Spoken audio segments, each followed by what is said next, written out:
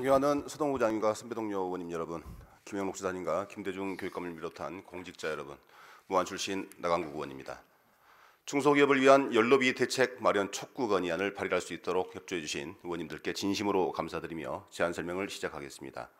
최근 가스요금과 전기료가 동반 상승하면서 정부는 취약계층 에너지 바우처 지원 금액을 두 배로 늘리고 지자체와 체원을 분담하여 긴급 복지 연료비를 월 11만 원에서 15만 원으로 올렸습니다. 각 지자체에서도 취약계층의 난방비를 추가로 지원하거나 농업, 농업 분야의 기름값을 지원하는 등 재정 여건에 따라 연료비 부담을 덜어주고 있습니다. 정부와 지자체의 이러한 대응은 매우 바람직한 것으로 반드시 차질 없이 시행되어야 하지만 이제는 지역 경제의 실피줄 같은 중소기업을 위한 대책도 함께 고민하고 마련되어야 할 시점입니다. 현재 중소기업의 연료비 부담을 이루 말할 수 없는 수준입니다. 산업용 전기요금이 오르고 있습니다.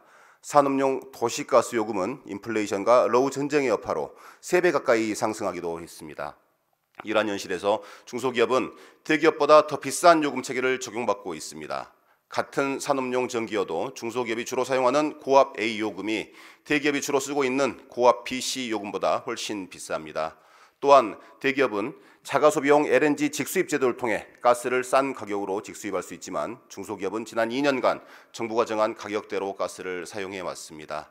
지난 1월 중소기업 중앙회가 실시한 중소제조업 에너지 비용 부담 현황 조사에 따르면 응답 기업의 95%가 전기요금이 부담된다고 답했으며 70%는 전기요금 인상에 대한 특별한 대책이 없다고 답했습니다.